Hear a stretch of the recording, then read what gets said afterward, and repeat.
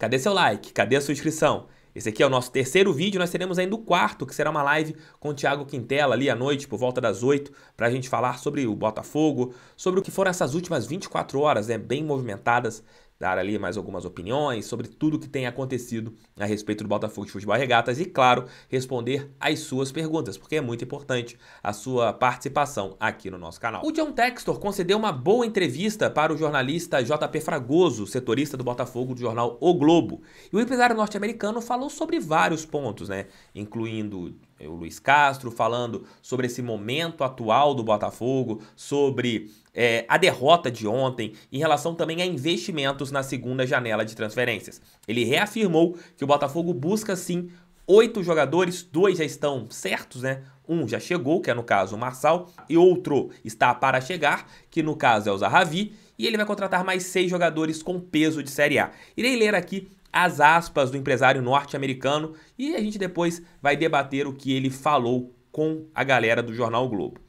Abro aspas para o John Textor. Tudo que eu falar aqui são aspas do empresário norte-americano. Minha estimativa é que vamos procurar mais seis jogadores, além de Marçal e de um jogador que chegará nos próximos dias. Esse é o Zahavi, né, no caso. Todos com um forte padrão da Série A.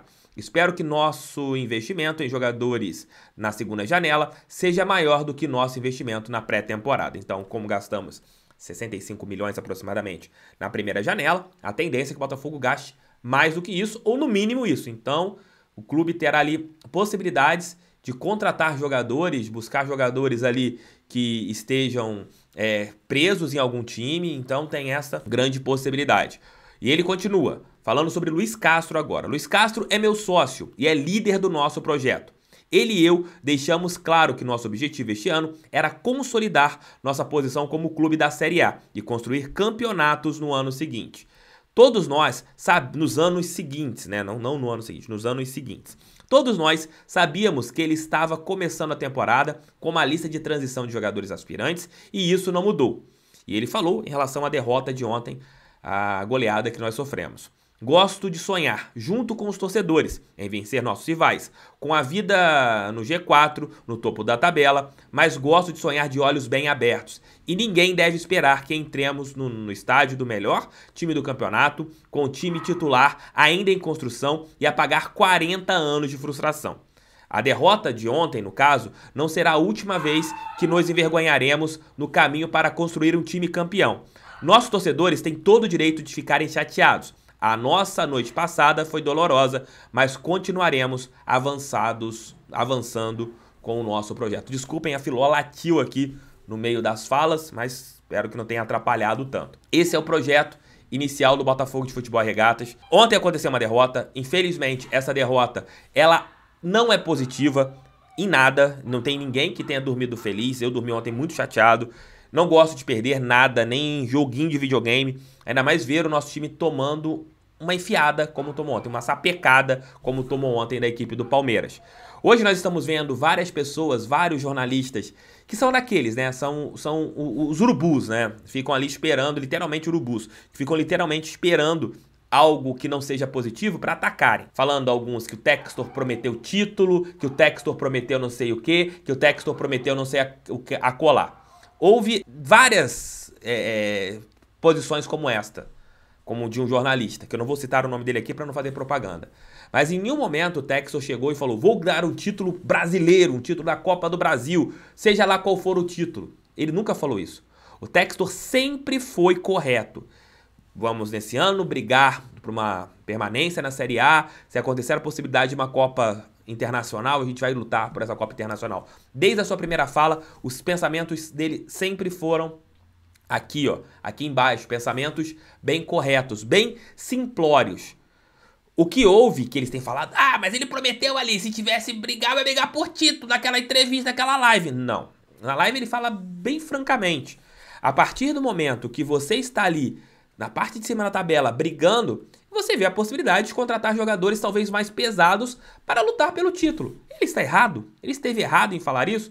Se ele chegasse e falasse naquela entrevista, não, gente, não. É, não, mesmo se tiver na parte da cima, não, vou contratar jogadores, não. Ah, não, esse ano não é ano para isso, não. Seria taxado por muitos de, ah, olha só, pensamento pequeno. Aí, como pensou grande, pensou na possibilidade de sonhar com o título se o Botafogo tivesse ali no topo, aí ele tá errado? É muita incoerência dos meus amiguinhos da imprensa, mas infelizmente eles são assim. Sobre a continuidade do Luiz Castro, foi aquilo que eu conversei com vocês ontem.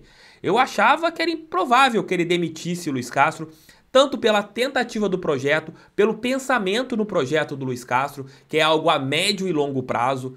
Por isso que isso me chateia quando o Luiz Castro, sempre em uma derrota, ou até mesmo na entrevista coletiva inicial, ele fala: ah, se os resultados não acontecerem, ah, eu posso sair, ah, troque o técnico. É outro que vem aqui e coloca resultado. Não, isso não é legal. Porque em nenhum momento o Textor chega e coloca, não, vamos montar um projeto que o resultado é fundamental. Não, o projeto sempre é colocado a médio e longo prazo e o Luiz Castro está inserido nisso. E sobre as contratações, você tem que buscar realmente jogadores com mais peso, jogadores agora colocando algumas dessas peças que não estão rendendo no banco de reservas. E você monta um elenco mais forte, monta um plantel mais forte. Ontem nós vimos isso na equipe do Palmeiras. Mesmo com alguns desfalques, você tinha um plantelzaço. E o nosso não, o nosso muito fraco ainda. Ontem não tínhamos um centroavante no banco de reservas. Ontem nós tínhamos o Vinícius Lopes, que é um menino, ponta, que teve que fazer o papel de um camisa 9 e não tinha um cacuete para jogar assim. É um projeto inicial. A derrota dói pra caramba, acho que doeu em vocês, como dói em mim. Mas tem que ter sobriedade. E eu espero que agora essa derrota tenha servido para Botafogo ajustar os cacos e a partir desse momento criar um alvo para contratações, para um desempenho nesse último mês, agora até a próxima janela, porque nós teremos vários jogos do Campeonato Brasileiro, mais oito rodadas, além de uma fase da Copa do Brasil. Então serão 24 pontos em disputa e 3 milhões e 900 mil reais da competição nacional. Muita coisa que o Botafogo tem que colocar, muita coisa que o Botafogo precisa ajustar. E o Textor foi ali bem apaziguador em suas falas ali na entrevista para o JP Fragoso. É isso. Abraço, fique com Deus. Mais tarde estarei de volta para a gente conversar mais sobre o Botafogo. Obrigado pelo seu carinho, obrigado pela sua audiência. O canal é feito para todo torcedor botafoguense. Se vocês não viram os outros dois vídeos de hoje, estão aqui, tem a live pós-jogo também, para vocês acompanharem aqui. Um beijo, tchau, tchau e fui. Fogo neles, para cima deles, fogão, sempre fogão.